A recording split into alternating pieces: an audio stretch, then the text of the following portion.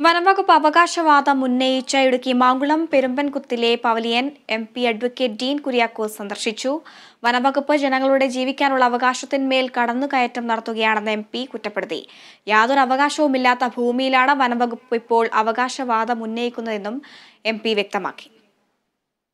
ഇവിടെ ജനങ്ങളുടെ ജീവനും സ്വത്തിനും സംരക്ഷണം നൽകാൻ ബാധ്യതയുള്ള ഡിപ്പാർട്ട്മെന്റ് ഉദ്യോഗസ്ഥന്മാർ അത് ചെയ്യാതെ വന്യമൃഗങ്ങൾക്ക് യഥേഷ്ടം ഈ നാട്ടിലൂടെ കടന്നു കയറാനും അതോടൊപ്പം തന്നെ വികസന പ്രവർത്തികൾ തടസ്സപ്പെടുത്താനും ഒക്കെ എല്ലാ വിധത്തിലും സൗകര്യങ്ങൾ ചെയ്തു കൊടുക്കുകയാണ് ഫോറസ്റ്റ് ഡിപ്പാർട്ട്മെന്റ്.